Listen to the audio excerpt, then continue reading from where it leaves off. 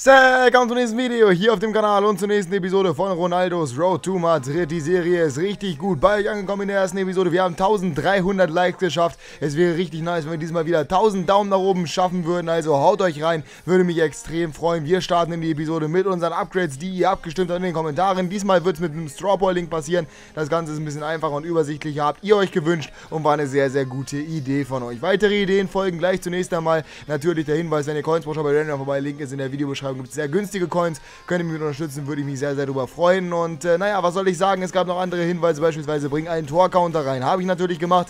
Würde aber jetzt immer in den Spielen auftauchen, wollte ich letztes Mal auch schon machen. Habe es da aber einfach zeitlich nicht geschafft. Und eine weitere Sache war, ihr wolltet einen Tor-Sound haben. Das ist allerdings eine Sache, die ich nicht so wirklich mag, beziehungsweise nicht so wirklich weiß, was für einen Sound ich nehmen soll. Wenn ihr Vorschläge habt, schreibt es mir in die Kommentare. Ich dachte vielleicht an das Hüm von Ronaldo, aber das ist eure Entscheidung. Also wenn ihr so unbedingt haben wollt, schreibt mal Vorschläge in die Kommentare. Gut, ähm, ja, wir haben wie gesagt vier Upgrades, wir fangen an im Tor und äh, wir haben natürlich jetzt den Weg zu Lissabon. Wir bleiben allerdings, bis wir Lissabon äh, komplett haben mit den normalen Trikots von Dänemark, beziehungsweise den von Hannover 96, das heißt mit irgendwelchen Trikots, die halt einfach zu dieser Amateurmannschaft quasi passen. Im Tor Marcelo Buek ist der neue Mann, ein Brasilianer von Sporting Lissabon, der eigentlich relativ nice aussieht. Innenverteidiger ist Nummer 1, ist dann Sar, mit, mit vorne heißt er glaube ich Mustafa, irgendwas auf jeden Fall. Gute Werte an sich, leider ein bisschen langsam, aber wird auf jeden Fall schon einigermaßen klappen, deiner Verteidigung neben Josué. Dann haben wir im Mittelfeld einen ähm, ja, sehr, sehr starken, talentierten Sechser und zwar ist es natürlich William Carvalho, der eventuell bekannteste Spieler neben Nani bei Sporting Lissabon. Sehr, sehr gute Werte, da nur defensiv, aber immerhin das ist ja schon mal gar nicht so schlecht. Und auf der offensiven rechten Flügelseite haben wir natürlich dann die Auswahl gehabt zwischen Carillo, Heldon und äh, wer war es noch? Ich habe den Namen vergessen. Mané war es, genau. Aber wir haben uns für Carillo entschieden, beziehungsweise ihr habt euch für Carillo entschieden. Forster Skills 88 Tempo kann man auf jeden Fall so machen. Das Team steht also, sieht relativ nice aus, zumindest schon mal. Wir haben die ersten drei Sporting-Spieler. Es sollen natürlich jetzt mehr werden. Vier Sporting-Spieler sind es sogar schon. Es sollen, wie gesagt, jetzt natürlich mehr werden. Und es äh, ist eure Möglichkeit, in der Episode jetzt hier abzustimmen. Des Weiteren habt ihr gefordert, wenn es einen Rage-Quit gibt, dann soll es doch bitte ein Tor von Ronaldo dazugeben. Das heißt, ein weiteres Upgrade. Das mache ich aber nicht, weil die Serie ja so lange wie möglich gehen soll, beziehungsweise nicht lange wie möglich, sondern einfach ein bisschen länger gehen soll. Und wenn es jetzt jedes Mal einen Rage-Quit geben sollte, wäre das blöd. Deswegen gibt es pro Rage Quit eine andere Geschichte und zwar, naja, ein Bonus-Set am Ende der Episode. Wir kommen gegen den ersten Gegner, so sieht das Team aus, ein bisschen Skill-Team mit Jermiti, mit Depay, mit Chikawi, mit Fernandes und mit Quadrado. Allerdings nicht mit Koscielny auf voller Chemie. Mal sehen, wie er sich schlagen konnte gegen mich. Der Tor-Counter ist jetzt übrigens unten links. Schreibt mir in die Kommentare, ob der euch gefällt oder ob der irgendwo anders positioniert sein soll oder ob der irgendwie anders noch aussehen soll. Erste Szene direkt mal von Ronaldo, setzt sich hier schön durch mit dem Roulette, macht das gut. Und wir wissen alle, er hat einen guten Longshot. Er haut ihn gleich mal raus, der senkt hier richtig gefährlich. Geht aber leider übers Tor hinweg, deswegen bleibt es hier beim 0 zu 0. Weiter mit Ronaldo. Schöner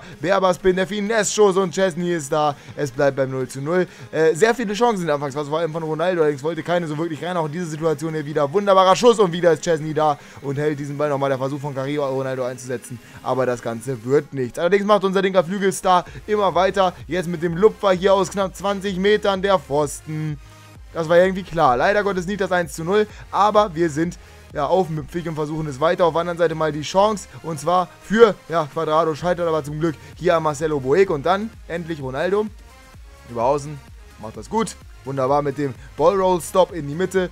Er verliert den Ball fast, erobert sich aber wieder mit seiner Körperstärke. Der Fake-Shot wunderbar, das Roulette ist perfekt. Der scoopt dann die Grätsche und das 1 zu 0. 34 Minuten, das fünfte Tor von Cristiano Ronaldo, das nächste Upgrade. Und da könnte man jetzt natürlich ein wunderbares Zoom einfügen, das er hier mit seinem Torjubel zelebriert. Allerdings ist es auch so ganz schön, denn es steht jetzt 1 zu 0. Ronaldo machte direkt weiter und zwar richtig, richtig gut. Will jetzt hier vorlegen mit der Rabona-Flanke abgewehrt. Und da ist dann Taira, der mal wieder mit dem Ball auf Ronaldo wieder direkte Flanke. Carillo mit dem Kopfball leider Gottes nicht drin, aber schöne Flanke von Ronaldo. Und dann ging es mal über die rechte Seite zum ersten Mal. Wieder über Carrillo, der gerade den Kopfball gemacht hat. Und er versucht es einfach mal mit einem ja, Pass in die Mitte jetzt gleich. Hier, wunderbar. Rabona-Flanke. Sturgeon ist da. 2 zu 0, 45. Minute. Die ja, ausgebaute Führung, quasi die zwei Tore Führung. Carrillo mit dem schönen Solo. Und im Endeffekt ist es Sturgeon, der das 2 zu 0 hier erzielt. Das war dann zu viel für meinen Gegner. Hat sich gedacht, okay, 45. Minute ist ein guter Zeitpunkt zum Quitten. Deswegen ist Ronaldo nicht mehr auf dem Match geworden. Wäre aber wahrscheinlich hat die höchste Bewertung. Deswegen habe ich ihn zum Man of the Match gemacht. Und es gibt das erste Bonus-Pack. Und damit gehen wir direkt rein in die zweite Episode. Ein Tor immerhin gemacht in diesem Spiel, das heißt, ein Upgrade gibt es schon mal. Und mal sehen, ob es im zweiten Spiel dann noch ein paar dazu gibt. Wir gehen rein und äh, wir sehen das gegnerische Team jetzt. Und es ist relativ stark, kann ich schon mal sagen. Es ist Silber und es ist Serie A. Und diese Teams sind dieses Jahr richtig, richtig gut. Tata Surano im Tor, davor dann äh, Bamba und Kulibali, Abate, Ektal, Amero, Nino, äh, nee, Lopez heißt da, Niang, Dybala und Muriel. Also richtig starke Partie, beziehungsweise richtig starkes Team, das eine starke Partie liefern sollte. Und es ging gut los für uns, und zwar mit der Hacke von Sturgeon auf Cristiano Ronaldo. Und der mit dem Schuss trocken, diesmal rein zum 1 zu 0 nach 3 Minuten. Sehr, sehr schön, diesmal nicht unbedingt noch gezögert, beziehungsweise nicht die Chance vergeben, sondern direkt reingemacht. Das nächste Upgrade, das zweite für diese Episode. Aber dann kam leider Gottes mein Gegner und er wurde immer besser. Allerdings konnte ich kontern, und zwar nach 17 Minuten. Wieder über Ronaldo, kriegt den Ball hier, hat einen guten Linken und leider Gottes ist der Keeper da. Es bleibt hier beim 1 zu 0. Und dann, wie gesagt, kam ja unser Gegner das erste Mal richtig nach vorne und zwar über Luis Muriel. Sehr, sehr starker Spieler wieder dieses Jahr. Lopez mit dem Ball auf Sanchez, Minho und der scheitert zweimal an Marcelo Boeg. Es gibt den Eckball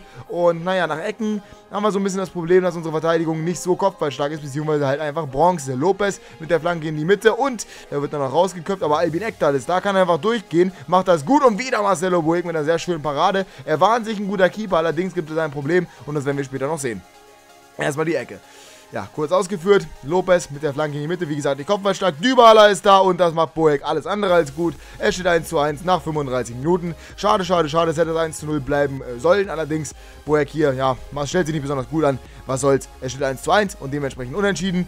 Zweite Halbzeit, ja, der Ball nach außen, die Flanke in die Mitte kommt jetzt gleich. Und im Endeffekt ist es dann der Schuss und wunderbare Parade von Boeck. Das hätte ich nie erwartet, aber er hat ihn halt nochmal gehalten in der Situation. Richtig gut gemacht.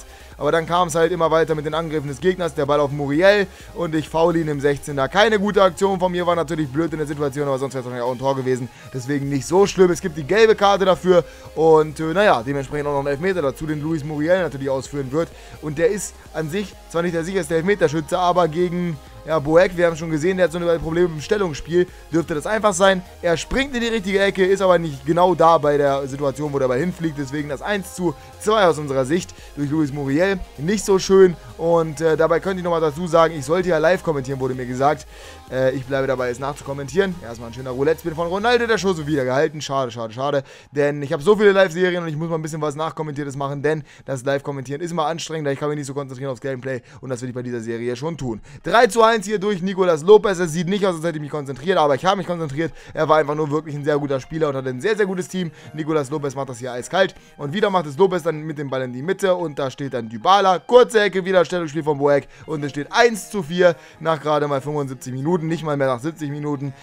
Naja, war nicht so besonders toll, aber wir haben ja immerhin Ronaldo, der könnte ja nochmal zurückschlagen, zumindest in der Theorie. Und wir wollen natürlich Upgrades haben, deswegen gehen wir mit Ronaldo weiter auf Torejagd. Macht das hier gut an sich mit der Ballrolle, mit dem Jackpack, geht weiter geradeaus, schöne Ballrolle nochmal und dann der trockene Schuss wieder in die Ecke. 2 zu 4, nur noch immerhin nochmal ein Tor, das nächste Upgrade, das dritte für diese Episode nach 86 gespielten Minuten ungefähr. Und äh, wieder an sich natürlich Zoom, aber wie gesagt, ich habe noch keinen Torsound. Schreibt mir in die Kommentare, ob ihr einen haben wollt. 19. Minute nochmal eine Chance für den Gegner und es musste natürlich so kommen, wie es im Endeffekt gekommen ist. Die Flanke in die Mitte, Muriel ist da, wieder sieht Boeck nicht so toll aus, kann aber nichts machen. Es steht 2 zu 5 aus meiner Sicht.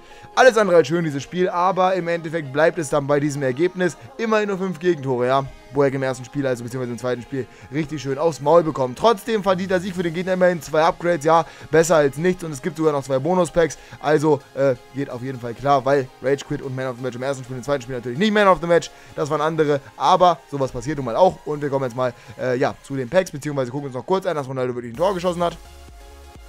Oder auch nicht. Zeigen wir es noch? Ich glaube nicht. Ist aber vollkommen egal. Dann gehen wir einfach direkt weiter zu den Packs. Und äh, naja, währenddessen sage ich euch schon mal, der Link zur Abstimmung ist natürlich in der Videobeschreibung. Schreibt mir rein, beziehungsweise, ja, stimmt einfach ab, wen ihr raushaben wollt, beziehungsweise wen ihr reinhaben wollt. Würde ich mich sehr darüber freuen. Wenn es euch gefallen hat, lasst ein Like da. Wie gesagt, ist eine großartige Unterstützung. Und wir sehen uns dann beim nächsten Mal wieder. Davor waren noch diese Packs hier. Arztpiliqueta haben wir im ersten drin. Relativ nices Pack eigentlich. DB Kelis und Gabulov noch dazu. Kann man auf jeden Fall mit Leben Arztpiliqueta. Ein sehr guter Linksverteidiger aus der Premier League. Vielleicht einer der besten mit Bitguy, Clichy und eventuell noch Leighton Baines und Moreno und José Enrique. Also gibt es doch ganz schön viele. Aber egal, auf jeden Fall gar nicht mal so schlecht. Und äh, im zweiten Pack wird es dann auch nicht so viel schlecht. Das wird wieder ein Spiel mit 81er Rating, das kann ich schon mal vorwegnehmen. Es wird nicht mehr so krass, aber es wird an sich ein sehr guter Spieler und sogar einer, der später in dieser Serie auftauchen wird. Und zwar der Torwart in diesem Pack. Das war es aber wirklich. Ich hoffe, euch hat es gefallen. Bis zum nächsten Mal. Wunderschönen Tag noch. Haut rein und ciao.